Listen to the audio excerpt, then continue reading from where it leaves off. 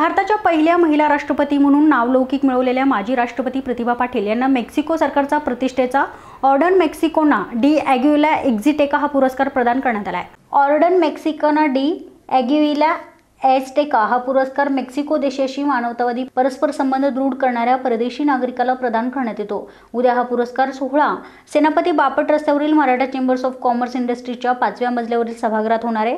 मेक्सिकोच्या राजदूत या सोहळ्याला प्रमुख पाहुण्या म्हणून उपस्थित राहणार आहेत. मेक्सिको देशाशी मानवतावादी परस्पर संबंध दृढ करण्याच्या परदेशी नागरिकाला हा सन्मान देण्यात येतो.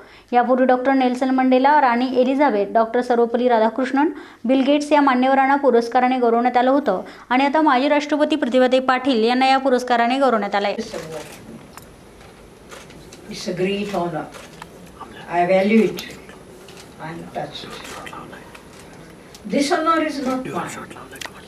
This is an honor of my dear country.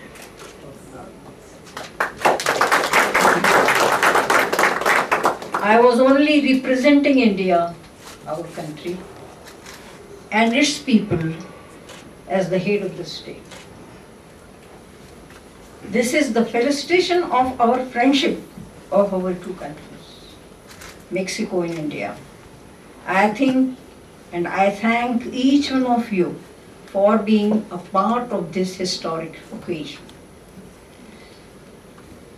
His Excellency Mr. Felipe Calderon, the then President of Mexico, paid a state visit to India in 2007 at my invitation.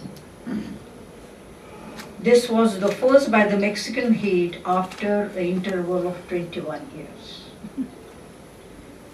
India and Mexico are old civilizations, both which represent vibrant and pluralistic democracies. We are multi-ethnic, multilingual and multi-religious. We are countries with a tradition of friendship and cooperation.